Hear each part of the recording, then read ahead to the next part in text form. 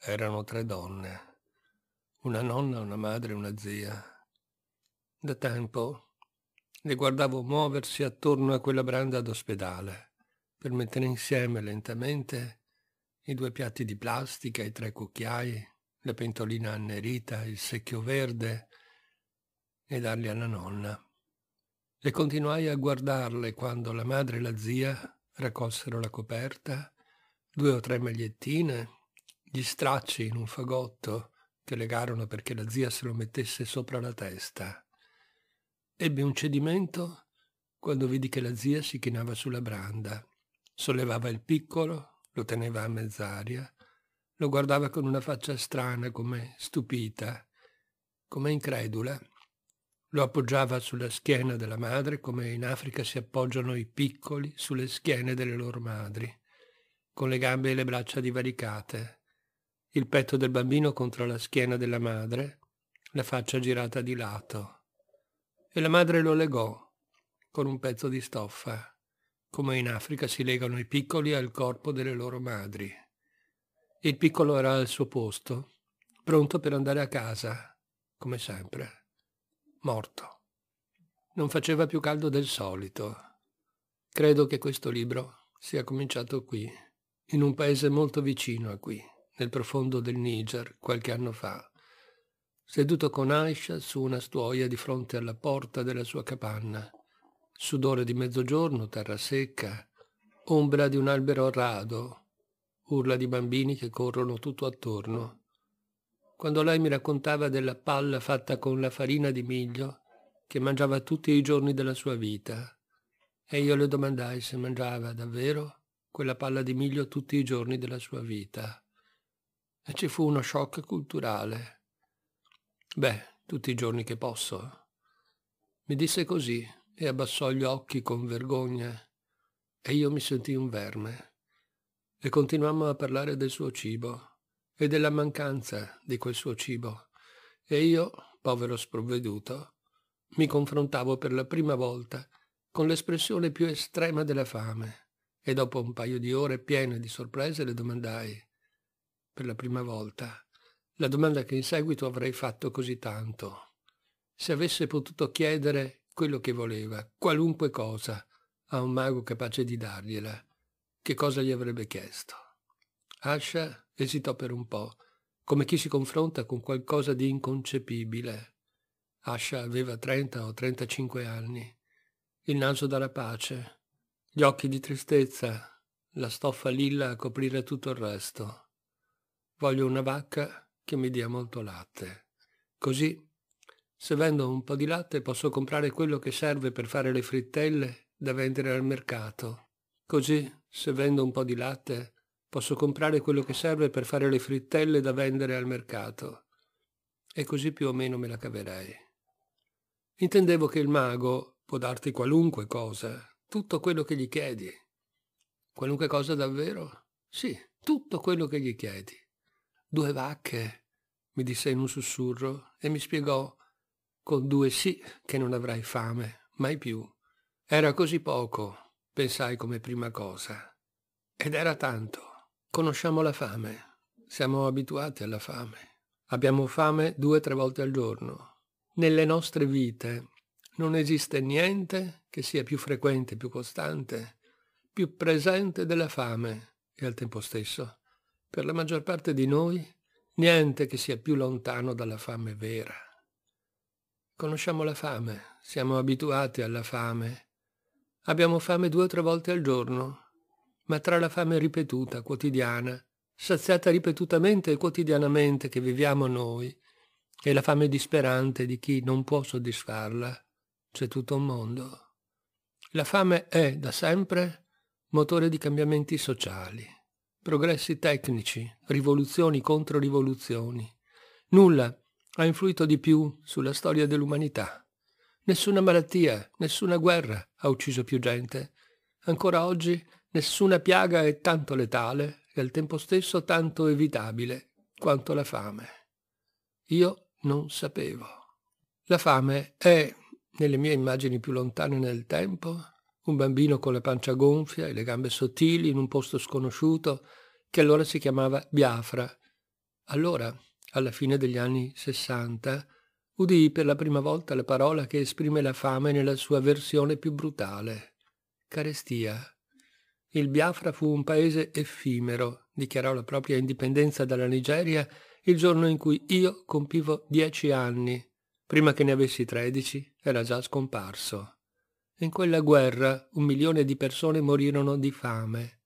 La fame, sugli schermi di quei televisori in bianco e nero, erano i bambini circondati di mosche con un rictus d'agonia. Nei decenni successivi l'immagine sarebbe diventata più o meno consueta, ripetuta, insistente. Per questo ho sempre pensato che avrei cominciato questo libro con il racconto crudo, scarno, terribile di una carestia. Sarei arrivato con una squadra d'emergenza in un luogo desolato, probabilmente africano, dove migliaia di persone stavano morendo di fame. Lo avrei raccontato con particolari brutali e a quel punto, dopo aver rappresentato il peggiore degli orrori, avrei detto che non bisogna ingannarsi o lasciarsi ingannare. Situazioni del genere rappresentano soltanto la punta dell'iceberg e la realtà reale è molto diversa. Avevo pensato, progettato alla perfezione, ma negli anni che ho passato a lavorare su questo libro non ci sono state carestie fuori controllo, solo le solite. La penuria estrema del Sahel, i rifugiati somali o sudanesi, le inondazioni del Bengala. Tutto questo, da un lato, è una grande notizia, ma dall'altro, non meno importante, è un problema. Le ecatombi erano le uniche occasioni che la fame ha di presentarsi immagini sugli schermi delle case, a chi non la soffre. La fame come catastrofe puntuale e spietata compare soltanto in occasione di una guerra o di un disastro naturale. Tutto il resto, invece, è molto più difficile da mostrare. I miliardi di persone che non mangiano quanto dovrebbero e soffrono per questo e muoiono a poco a poco per questo. L'iceberg, ciò che questo libro cerca di raccontare e di pensare. Eppure non dico nulla che non sappiamo già. Tutti sappiamo che c'è la fame nel mondo, tutti sappiamo che ci sono 800, 900 milioni di persone, le cifre oscillano, che ogni giorno patiscono la fame. Tutti abbiamo letto o udito queste stime e non sappiamo o non vogliamo agire di conseguenza se c'è stato un momento in cui la testimonianza, il racconto crudo serviva, si direbbe che adesso non serva più. Allora, che cosa rimane? Il silenzio. Asha, che mi diceva quanto sarebbe stata diversa la sua vita con due vacche. Se proprio devo spiegarlo, non so se devo spiegarlo. Niente mi ha colpito di più che capire come la povertà più crudele, la più estrema, sia quella che ti turba anche la possibilità di pensarti diverso, quella che ti lascia senza prospettive, senza neanche desideri, condannato per sempre alla stessa situazione inevitabile. Dico, voglio dire, che non so come dirlo. Voi, gentili lettori, così pieni di buone intenzioni, un po' smemorati, Riuscite a immaginare che cosa significhi non sapere se domani potrete mangiare? E ancora, riuscite a immaginare come possa essere una vita fatta di giorni che si susseguono ad altri giorni senza sapere se domani potrete mangiare? Una vita che consiste soprattutto in questa incertezza, nell'angoscia di questa incertezza e nello sforzo di immaginare come alleviarla non potendo pensare a nient'altro, perché ogni pensiero si tinge di questa mancanza. Una vita così limitata, così breve, a volte così dolorosa, così combattuta. Tante forme di silenzio. Questo libro ha molti problemi. Come raccontare l'altro, ciò che è più lontano? È molto probabile che voi, lettori, lettrici, conosciate qualcuno che è morto di cancro che ha subito un'aggressione, che ha perduto un amore, un lavoro, l'orgoglio. È molto probabile che conosciate qualcuno che vive con la fame, che vive il rischio di morire di fame. È molto improbabile che conosciate qualcuno che vive con la fame, che vive il rischio di morire di fame. Molti milioni di persone che sono qualcosa di lontano, qualcosa che non sappiamo né vogliamo immaginare. Come raccontare una simile miseria senza cadere nel pietismo, nell'uso lacrimevole del dolore altrui. O prima ancora, perché raccontare una simile miseria? Molto spesso raccontare la miseria è un modo di usarla. La disgrazia altrui interessa a molti disgraziati che vogliono convincersi di non stare così male o che vogliono semplicemente provare un certo brivido. La disgrazia altrui, la miseria, serve a vendere, a nascondere, a confondere le acque, a presupporre, per esempio, che il destino individuale sia un problema individuale e soprattutto come combattere contro la degradazione delle parole. Le parole, milioni di persone patiscono la fame, dovrebbero significare qualcosa, provocare qualcosa, produrre determinate reazioni. Ma di solito le parole non fanno più cose del genere. Qualcosa accadrebbe forse se potessimo restituire alle parole il loro significato. Questo libro è un fallimento, prima di tutto perché ogni libro lo è, ma soprattutto perché un'esplorazione del maggior fallimento vissuto dal genere umano non poteva che fallire. Al fallimento, naturalmente, hanno contribuito le mie mancanze, i miei dubbi, la mia incapacità. Ma anche così, questo è un fallimento del quale non mi vergogno. Avrei dovuto conoscere più storie, meditare su più questioni, capire qualcosa di più, ma a volte fallire vale la pena. E fallire di nuovo, e fallire meglio. L'eliminazione, ogni anno, di decine di milioni di uomini, donne e bambini, ad opera della fame, è lo scandalo del nostro secolo. Ogni cinque secondi un bambino sotto i dieci anni muore di fame, in un pianeta che pure straripa di ricchezze. Allo stato attuale, in effetti, l'agricoltura mondiale potrebbe nutrire senza problemi 12 milioni di esseri umani, quasi il doppio della popolazione attuale. Dunque, non si tratta di una fatalità. Un bambino che muore di fame è un bambino assassinato, disse in Destruction Massive l'ex relatore speciale delle Nazioni Unite per i diritti dell'alimentazione, Jan Ziegler. Migliaia e migliaia di fallimenti. Ogni giorno muoiono nel mondo, in questo mondo, 25.000 persone per ragioni che hanno a che vedere con la fame.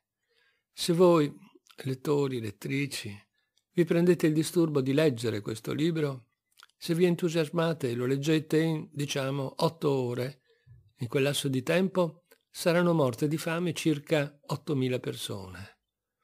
8.000 persone sono molte. Se non vi prendete il disturbo di farlo, saranno morte lo stesso. Ma voi avrete la fortuna di non averlo saputo. Quindi probabilmente preferirete non leggere questo libro. Forse io farei la stessa cosa. È meglio in genere non sapere chi sono, né come né perché. Ma avete letto questo breve paragrafo in mezzo minuto. Sappiate che in questo lasso di tempo, nel mondo, sono morte di fame soltanto da 8 a 10 persone. E tirate un sospiro di sollievo. E se magari, allora, decidete di non leggerlo, forse continuerà a girarvi in testa la domanda tra le tante domande che mi faccio, che questo libro si fa, se ce n'è una che spicca, che risuona, che mi assilla senza sosta, come cazzo riusciamo a vivere sapendo che succedono queste cose? Niger, strutture della fame. Avevo parlato con lei poco prima, cinque, sei ore prima, quando il suo bambino era vivo, addormentato, magrissimo, che piagnucolava anche da addormentato. Un dottore mi ha detto che devo avere pazienza, può darsi che guarirà. Mi disse, ed esitai prima di farle una domanda evidente. In genere non vi è ragione di fare questo tipo di domande. Può anche darsi di no. Non so cosa può accadere. Cadì a una ventina d'anni. Non so, una ventina, disse. Ei Seidù era suo figlio. Cadì, mi disse, si era sposata tardi, più o meno a 16 anni. Perché tardi? Beh, tardi. Le altre ragazze del paese si sposano a 12, a 10, a 13 anni mi disse Cadì, e che la fecero sposare con un vicino che non aveva quasi nulla, perché pare che nessun altro volesse sposarsi con lei. Non so perché. Siccome sono magrolina, forse pensavano che non andassi bene per fare figli. E che Yusuf, suo marito, è un bravo ragazzo, ma fatica molto a procurarsi il cibo perché non hanno terra e quindi lui deve lavorare dove trova e hanno anche faticato perché lei rimanesse incinta, ma alla fine è successo. E non sa che felicità abbiamo provato, mi disse, e che paura, perché come avrebbero fatto a tirarlo su? Ma se tutti tirano su i figli, anche loro ci sarebbero riusciti. Eppure gioia, perché era un maschio e lo avevano chiamato Seidù. E cresceva bene, mi disse Cadì. Quando era piccolino, cresceva molto bene. Erano così contenti. Ma poi, qualche giorno fa, gli è venuta questa diarrea. Non sa quanto è tremenda la diarrea. Non finiva, non finiva più. Allora l'ho portato dal Marabù a farlo vedere. Il Niger, come tutti i paesi, è il risultato di una somma di casi. I casi africani sono più recenti, più evidenti. L'errore di un cartografo, l'incontro di un cancelliere francese con uno inglese a diciamo Versailles nel 1887 per spartirsi la regione. L'ambizione o l'apatia di un esploratore con problemi di prostata. Ma fu un caso anche che quello stupido di Napoleone III volesse ricavare soldi dalla Baviera e la costringesse a unirsi alla Prussia e a formare la Germania, o che i governanti di Buenos Aires fossero ormai così inetti da non riuscire a mantenere il limite orientale del vicereame all'interno del loro territorio. E così via. Governare significa approfittare dell'ignoranza diffusa per sfruttare al massimo la propria. Ad ogni modo, un caso sfortunato. Per via di questo caso, adesso il Niger è costituito per tre quarti di terra sterile, ha un sottosuolo quasi sterile. Qualche chilometro più a sud il petrolio straripa, ma lì è già Nigeria. Così chi abita su questo lato non ha il diritto di estrarlo e patisce la fame. Di solito c'è qualcosa di crudele nei casi che chiamiamo paesi e che, ci dicono, sono la cosa più nostra, quella che dovremmo amare con tutta l'anima, difendendola a costo della vita. Il Niger è, forse, il paese più rappresentativo del Sahel e il Sahel è una striscia lunga più di 5.000 chilometri e larga circa 1.000 che attraversa l'Africa dall'Atlantico al Mar Rosso, proprio sotto il Sahara. Di fatto Sahel significa riva del Sahara. È una zona arida, semidesertica, piatta, nella quale prosperano alcuni dei regni più potenti d'Africa. L'impero Mandingo o impero del Mali, per esempio, nel secolo XVI, quando i signori di Timbuktu costruirono una delle città più grandi del tempo, scambiando il sale che arrivava dal deserto del nord con gli schiavi che arrivavano dalle selve del sud. Ancora adesso costituisce parte del Senegal, della Mauritania, dell'Algeria, del Burkina Faso, del Mali, del Chad, del Sudan, dell'Etiopia, della Somalia e dell'Eritrea. Conta oltre 5 milioni di chilometri quadrati, 50 milioni di persone, bestie magre, coltivazioni stentate, poche industrie, poche infrastrutture, sempre meno minerali da estrarre. Il Sahel è anche la regione che ha dato un senso diverso alla parola emergenza, che di solito si usava per eventi straordinari, inaspettati. Nel Sahel ogni giugno milioni di persone entrano in stato di emergenza, rimangono senza cibo, minacciati dalla carestia, e l'anno dopo accade di nuovo la stessa cosa e l'anno dopo e quello dopo ancora, ma ogni volta è diverso. Il Sahel è, tra l'altro, vittima di un luogo comune, quello secondo il quale i suoi abitanti non mangiano perché non è possibile che mangino, quello secondo il quale la fame in quei posti è un problema strutturale, irreversibile, quasi ontologico. Patiscono la fame perché non può essere altrimenti, povere anime disgraziate. Nel Sahel la fame è sempre presente, ma diventa brutale quando comincia il periodo che i francesi chiamano Sudur, gli anglosassoni Hunger Gap e gli ispanici in nessun modo, perché dovrebbero. Sono i mesi nei quali il grano del raccolto precedente è terminato e quello successivo lotta per spuntare dal terreno. Allora il governo chiede e non chiede aiuti. Le agenzie internazionali diffondono l'allarme sul pericolo e destinano e non destinano le loro risorse. E quei milioni di persone mangiano e non mangiano. E qui, all'ospedale distrettuale di Madauna, a 500 km da Niamey, Medici Senza Frontiere, MSF, monta un nuovo tendone ogni due o tre giorni perché arrivano sempre più bambini denutriti.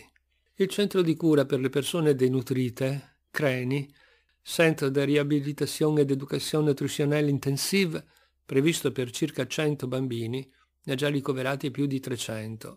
E il flusso non si arresta, niente di strano. Più o meno la stessa cosa tutti gli anni. L'anno scorso, sui circa 90.000 bambini sotto i 5 anni che abitano nel distretto di Madawa, 21.000 sono stati curati per malnutrizione in questo centro e nei suoi satelliti, quasi un quarto dei bambini che abitano la zona. Di qui, un po' di tempo fa, è uscita a piedi Cadì, la madre con il suo bambino sulla schiena. Qui, nell'ultima settimana, sono morti 59 bambini per la fame e le sue malattie. Allora, quando si era ammalato, il marabù le aveva dato certi unguenti per frizionargli la schiena, mi disse Cadì, e foglie per fare degli infusi. Il marabù non è soltanto il saggio musulmano di ogni paese, è anche spesso il guaritore, che adesso il linguaggio politicamente corretto chiama medico tradizionale, una figura fondamentale. Cadì aveva fatto tutto. La diarrea non si fermava. Una vicina le parlò dell'ospedale e le chiese perché non lo portava lì. Cadì venne qui più di sei giorni fa, ha detto. Più di sei giorni fa. E furono accolti lei e il suo bambino. Ma la cosa che non capisce è perché le abbiano detto che si era ammalato perché non aveva mangiato abbastanza. Io gli ho sempre dato da mangiare, gli ho dato la tetta, poi ho cominciato a dargli il suo cibo. Gli abbiamo sempre dato il suo cibo. A volte mio marito e io non mangiavamo, mangiavamo pochissimo, ma a lui abbiamo sempre dato il suo cibo. Non piangeva mai, aveva sempre il suo cibo. Mi disse Cadì, diffidente, addolorata. Mio figlio mangia. Deve essersi ammalato per qualcos'altro. Sarà stato qualche mago, una strega, forse ha inghiottito troppa polvere l'altro giorno, quando in paese è passato quel grande gregge. O è stata l'invidia di Amina per la morte di quel suo figlio, nato nello stesso periodo. Non so cosa possa essere, ma il cibo non può essere, lui mangia. E che cosa gli date da mangiare? Come sarebbe a dire cosa? Lavora, disse con naturalezza e io non le dissi che la voura, quella specie di palla di polenta solida, fatta con farina di miglio e acqua, che i contadini del Niger mangiano quasi tutti i giorni della loro vita, non basta per nutrire un bambino di un anno e mezzo, che manca di tutto ciò che il bambino necessita. Cadì era infastidita, risentita. Qui mi dicono che sta così perché non gli ho dato il suo cibo. Si vede che qui non capiscono Sentire queste cose mi fa paura, mi viene voglia di andarmene, mi disse Cadì, e se ne andò, ore dopo, con il suo bambino morto sulla schiena. Per dirlo in modo chiaro, mangiare la palla di miglio tutti i giorni significa vivere a pane e acqua, patire la fame. Fame è una parola strana. Dal famen latino gli italiani hanno detto fame, i portoghesi fome, i francesi femme gli spagnoli hambre, con quella br introdotta anche in ombre, uomo, hembra, femmina, nombre, nome, parole molto pesanti. Non esiste parola, forse, più carica di fame, eppure è facile disfarsi del suo carico. Fame è una parola deplorevole.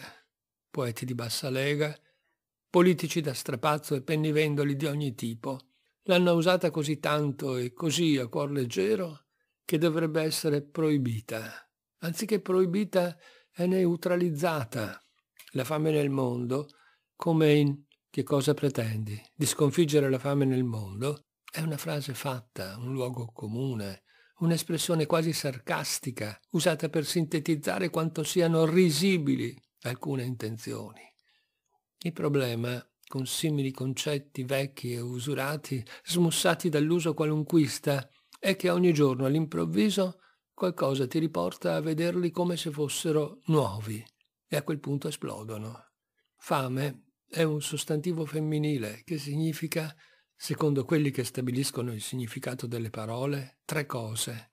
Voglia e bisogno di mangiare, penuria di alimenti basilari, che causa carestia e miseria generalizzata, appetito e desiderio ardente di qualcosa, uno stato fisico individuale, una realtà condivisa da molti, una sensazione intima.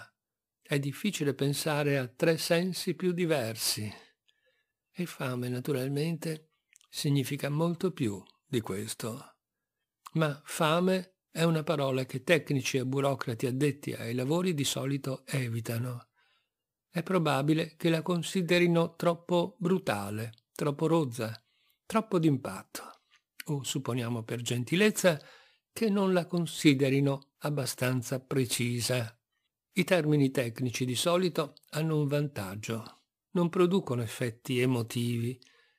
Esistono parole che ne producono. Ne esistono molte altre che non lo fanno. Di solito loro, gli organismi per i quali lavorano, preferiscono quelle che non lo fanno.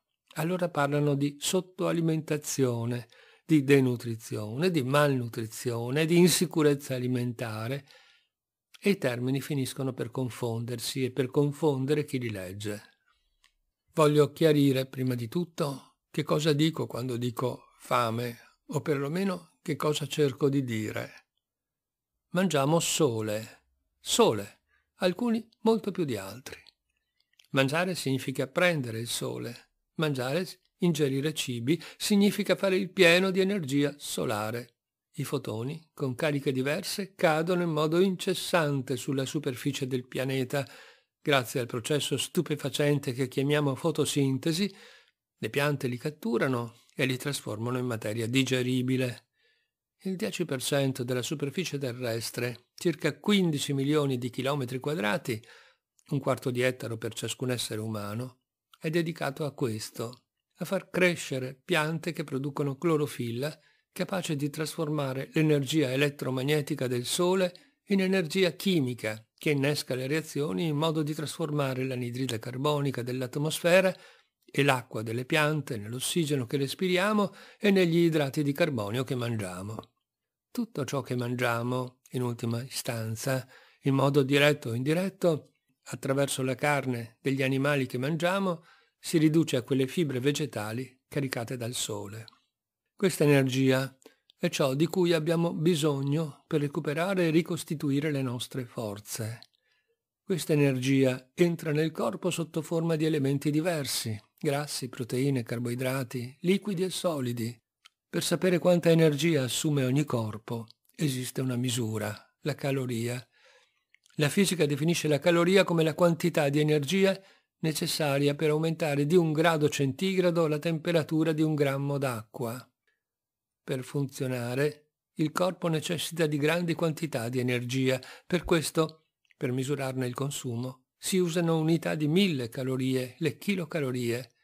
Il fabbisogno calorico di ogni persona varia in base all'età e alle condizioni nelle quali vive, ma grosso modo si calcola che un bambino sotto l'anno abbia bisogno di mangiare circa 700 calorie al giorno, 1000 fino ai due anni, 1600 intorno ai 5. A un adulto ne occorrono da 2000 a 2700 secondo il fisico, il clima in cui vive, il lavoro che fa.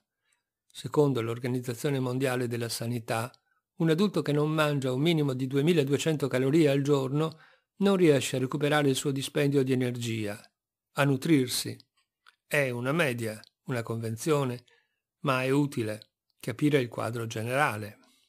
Un adulto che non riesce a ingerire 2200 calorie di cibo al giorno patisce la fame. Un bambino che non ne introduce 700 o 1000, secondo l'età, patisce la fame. La fame è un processo, una lotta del corpo contro il corpo. Quando una persona non riesce a mangiare le sue 2200 calorie al giorno, patisce la fame, mangia se stessa, un corpo affamato è un corpo che sta mangiando se stesso e non trova più molto. Quando un corpo mangia meno di quanto gli occorre, comincia a mangiare le proprie riserve di zuccheri, poi quelle di grassi.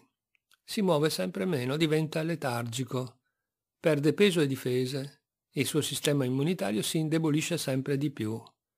Viene attaccato da virus che gli provocano diarrea e lo svuotano, parassiti che il corpo non è più capace di contrastare si insediano nella sua bocca, fanno molto male. Infezioni bronchiali complicano la sua respirazione e fanno molto male. Alla fine comincia a perdere la scarsa massa muscolare che ha, non è più in grado di alzarsi in piedi e tutto a un tratto non potrà più muoversi, fa male. Si rannicchia, si raggrinzisce, la pelle si piega e si spacca, fa male. Piange piano, in silenzio, aspetta che finisca. Poca gente, troppa gente, muore direttamente di fame. Moltissima gente muore di malattie o infezioni che sono mortali, perché il corpo, debilitato dal poco cibo, non è in grado di combatterle. Malattie o infezioni che per una persona nutrita in modo normale non hanno alcun rilievo. Poca gente, troppa gente, muore direttamente di fame. La metà dei bambini che muoiono prima dei 5 anni in un paese come il Niger muoiono per cause che si ricollegano alla fame.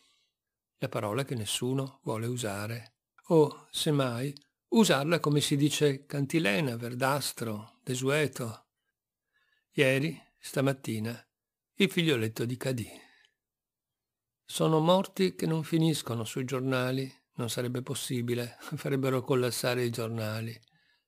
Sui giornali finiscono i fatti inconsueti, straordinari. No, non sono andata a scuola, siccome era una femmina ero senza padre. Quando era piccola, ai si domandava a cosa servivano i padri. Com'era averne uno? Com'erano le vite dei bambini con i padri? A cosa servivano quei padri? Ai non vedeva grandi differenze. Lei e i suoi cugini vivevano tutti insieme nel cortile dei nonni e gli altri avevano un padre e lei, che non ce l'aveva, viveva come loro. Dopo, molto dopo, le raccontarono che suo padre era morto quando lei era appena nata, a distanza di due o tre giorni, che era morto così, di niente, della sua morte, e che se lei avesse avuto un padre Forse sarebbe andata a scuola. Allora aveva pensato che non avere il padre fosse un vantaggio. Io non volevo andare a scuola, diceva, e in ogni caso le sue cugine, che avevano il padre, non ci andavano neppure loro. Ma forse, pensa adesso, se avesse avuto un padre non l'avrebbero fatta sposare così piccola.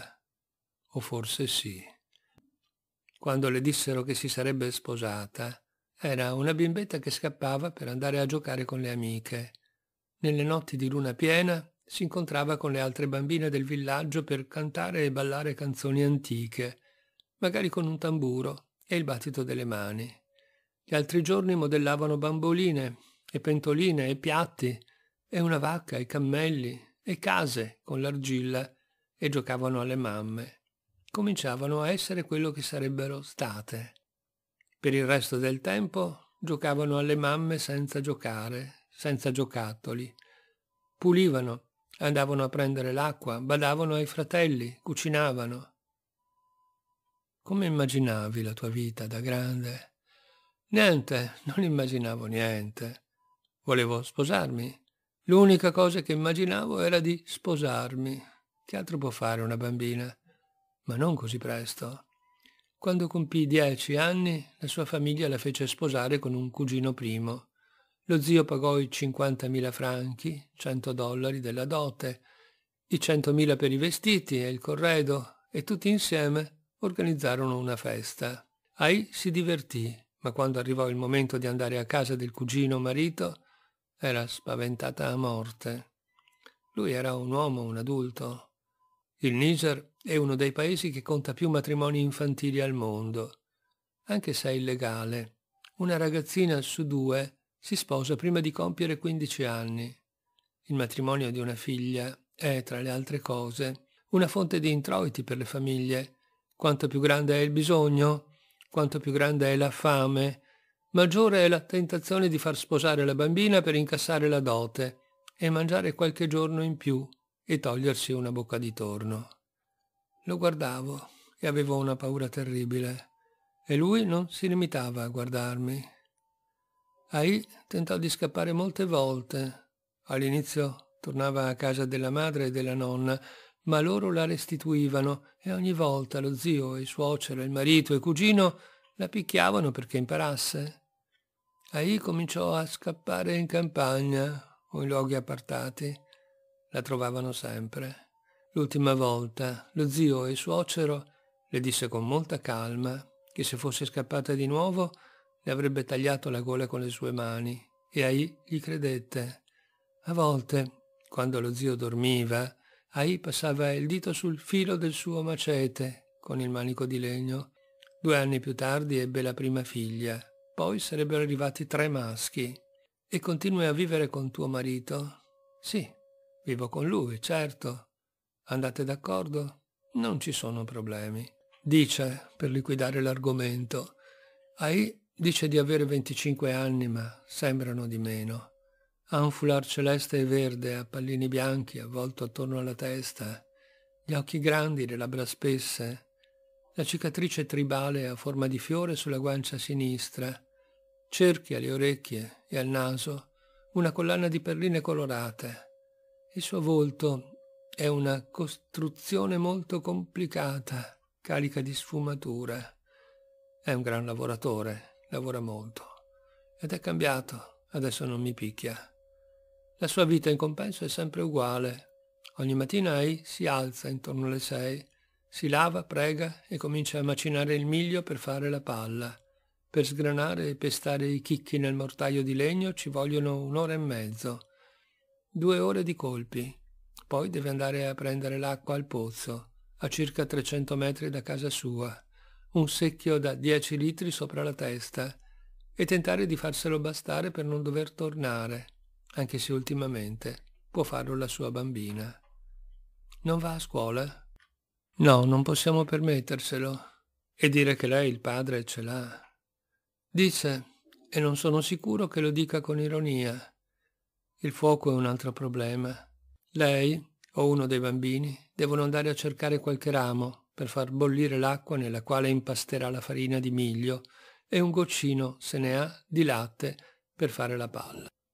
Intorno alle undici, quando il caldo è già insopportabile, Ai la porta con una giara d'acqua a Mamouda, il marito, nel campo in cui sta lavorando, hanno tre piccoli appezzamenti, meno di un quarto d'ettaro l'uno, e Mamouda li lavora da solo, perché il bambino più grande non ha ancora compiuto sette anni. Anche se questa volta, dice I, i due bambini più grandi sono andati ad aiutarlo con la semina. Ma soltanto con la semina, dice, non sono ancora in grado di fare altro, poveretti. Circa la metà dei bambini nigerini sotto i cinque anni è cresciuta meno del dovuto per mancanza di cibo. Se superano l'infanzia, quei bambini avranno più malattie, meno possibilità di lavorare e di godersi la vita e, in sintesi, una vita più breve e più povera che se avessero mangiato bene nei primi anni. Sembra una stupidaggine.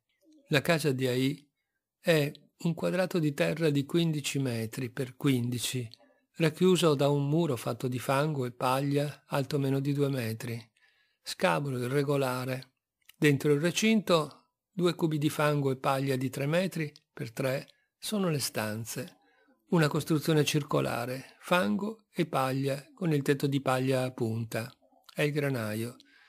Ma la vita trascorre all'aria aperta, nel cortile un po' sporco, dove una capra allatta il suo capretto, dove la figlia di Ai macina i semi in un mortaio alto tanto quanto lei, dove i bambini di Ai non la smettono di correre e dove lei e io chiacchieriamo seduti a terra sulla sua stuoia.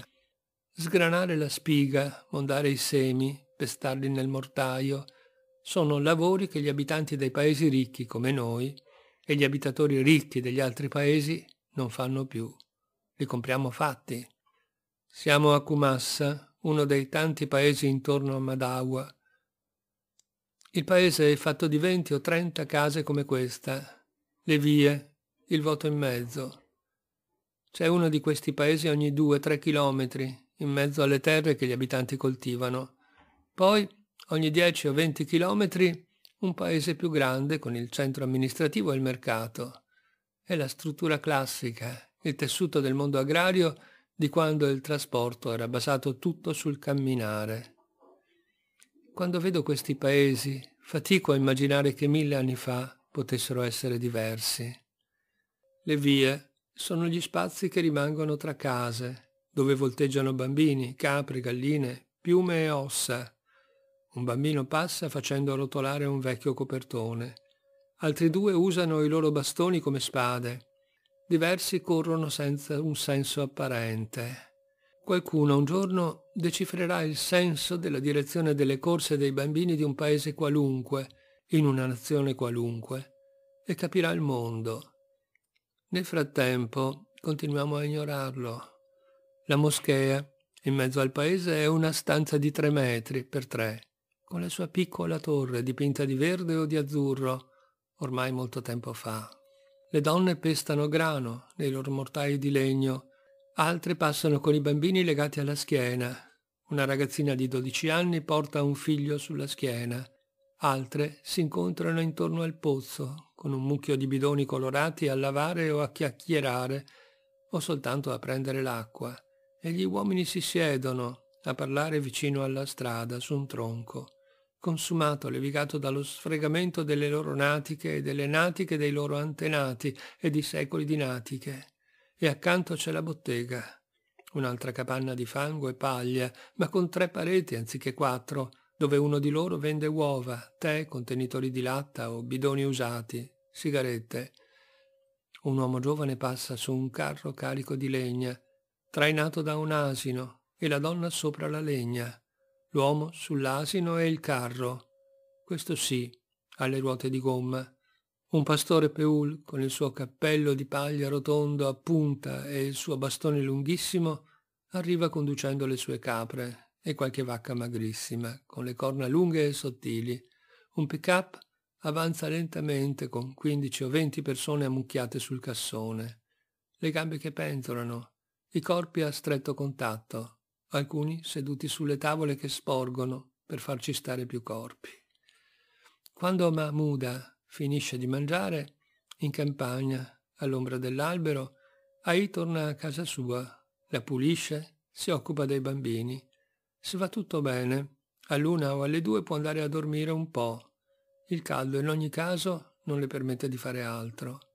Fino al pomeriggio, quando si metterà a cucinare l'impasto di miglio, una specie di polenta, che nei giorni buoni si mescola con un sugo di cipolla soffritta, magari un po' di pomodoro e qualche fogliolina di gombo o di baobab.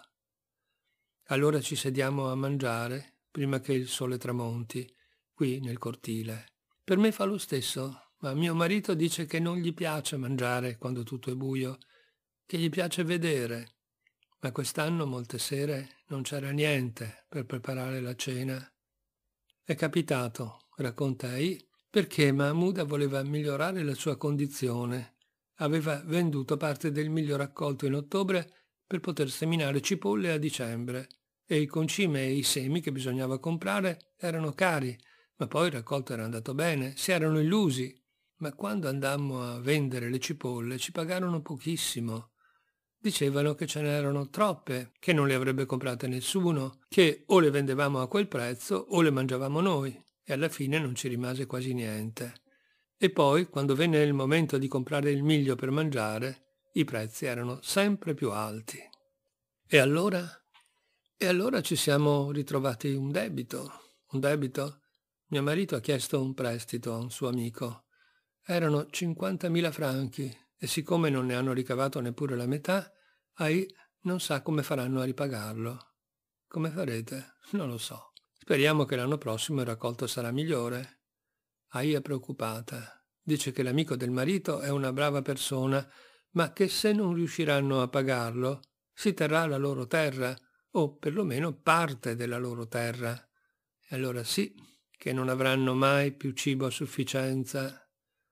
E la cosa peggiore è che quest'anno mio marito non ha potuto coltivare. Quando è arrivato il momento ci eravamo mangiati tutto il grano e non ne avevamo più per seminare. Non avevamo neppure da mangiare. Quindi ora sta lavorando la terra di un ricco per avere qualcosa da mangiare. Non ha potuto seminare il nostro pezzettino di terra. E allora come mangerete l'anno prossimo? Beh, manca ancora un sacco di tempo. Nel 2012 le ONG e le agenzie che lavorano in Niger hanno assistito circa 400.000 bambini, ma l'ipotesi è che ad avere bisogno fossero più di un milione. Sebbene non ne siano certi, le agenzie e le ONG coprono solo parte del territorio. Del resto nessuno sa niente con certezza. Non esiste una rete sanitaria efficiente, non esistono dati. Un buon numero. Che numero? Di bambini nasce senza essere registrato e muore e viene sepolto e non è mai esistito. Suo figlio più piccolo, Ismail, ha un anno e due mesi ed è stato ricoverato per 15 giorni all'ospedale. Quando è arrivato pesava meno di 4 kg, gravemente denutrito. Adesso sta meglio, ma Ai ha paura che gli accada di nuovo. Adesso devo andare ogni mattina a farlo controllare e a prendere la mia busta di cibo. Lo faccio, ma non posso mica farlo sempre. Non voglio andare per sempre a prendere la busta di cibo. Se il bambino deve mangiare, voglio che mangi bene, a casa. Ismail ha un cappellino di lana blu e bianco, visto che ci sono solo 35 gradi, e succhia un sacchetto di integratore alimentare come se gli piacesse. Perché c'è gente che ha e gente che non ha. Beh, alcuni hanno i genitori che li aiutano e altri no. No, intendevo gente molto ricca che ha le case, automobili e altri che non hanno nulla. Perché è così? Non lo so. Hai ride, a disagio. Guarda Bea, la mia interprete locale, per chiederle aiuto. Bea non dice niente. Non lo so, come faccio a saperlo? Dice Ai, poi ci ripensa. Qui, in paese, la differenza la fanno le terre. Quelli che hanno le terre più grandi possono fare tutto quello che vogliono. Dice, e io ricordo un'altra nigerina che anni fa in un paese come questo mi spiegava la differenza sostanziale tra un ricco e un povero. È semplice. I poveri lavorano con le mani, i ricchi lavorano con i soldi, mi disse. In che senso lavorano con i soldi? Invece di lavorare con le loro mani, pagano altri perché facciano il lavoro al posto loro, perché coltivino il loro campo. Quella volta ero andato lì per scrivere una storia sulle banche dei cereali che proliferano nella regione. Sembrava una grande idea. Un ONG incoraggiava le donne del paesino, di centinaia di paesini, a organizzarsi per costruire un granaio. Quando lo facevano, dava loro alcune tonnellate di miglio per costruire il capitale iniziale della banca, che aveva come funzione quella di prestare il miglio alle socie durante le saudur e aiutarle a sopravvivere. Le socie avrebbero dovuto restituire il prestito in semi, con un leggero interesse, quando i mariti avrebbero avuto il raccolto. L'iniziativa aveva due vantaggi evidenti. Quello più ovvio era che aiutava migliaia di famiglie a sopravvivere nel periodo più duro, quello meno ovvio, che dava alle donne un potere mai avuto nelle loro comunità. Ma adesso Ai mi dice che nel suo paese e in altri paesi le banche hanno avuto problemi perché troppe donne non restituivano i prestiti. Non volevano, non potevano restituire i prestiti e cominciarono a rimanere senza il capitale di cereali. Allora la maggior parte delle banche smise di fare prestiti e cominciò a vendere. Anche così erano utili tenevano i prezzi al di sotto del mercato del 30 o 40% e così facendo costringevano i commercianti a contenere i loro. Ma, mi dicono, anche questa cosa è andata male in molti casi. I commercianti, attraverso prestanome locali e piccole reti di corruzione, compravano lo stock di grano per rivenderlo quando fosse stato conveniente e per arrivare in quel modo a controllare i prezzi del mercato. La crisi economica dei paesi donatori contribuì alla rovina. Tutto a un tratto il reintegro di grano sulle banche rimaste sprovviste si ridusse molto. Finirono i salvataggi. Così molte banche dovettero chiudere. Quella del suo paese, mi dicei, qualche mese fa. Il gruppo di donne del suo paese, mi dicei, continua a incontrarsi, ma adesso senza la banca non ha più il rispetto degli uomini. Hai paura di non avere abbastanza cibo o non ci pensi? Sì, certo che ci penso. Quando la sera non ho niente da dare ai miei figli, ci penso molto. Cosa pensi? Non lo so, niente. Penso. Ai pensa, pensa molto. Ai non ha mai avuto abbastanza cibo. Non è mai stata in una città, non ha mai avuto la luce elettrica, né l'acqua corrente, né un fornello a gas, né un water non ha mai partorito in un ospedale, non ha mai visto un programma televisivo, non si è mai messa i pantaloni, non ha mai avuto un orologio, mai un letto, non ha mai letto un libro, non ha mai letto un giornale, non ha mai pagato una rata, non ha mai bevuto una Coca-Cola, non ha mai mangiato una pizza, non ha mai scelto un futuro, non ha mai pensato che la sua vita potesse essere diversa da come è. Non ha mai pensato di poter vivere senza domandarsi se avrebbe mangiato il giorno dopo.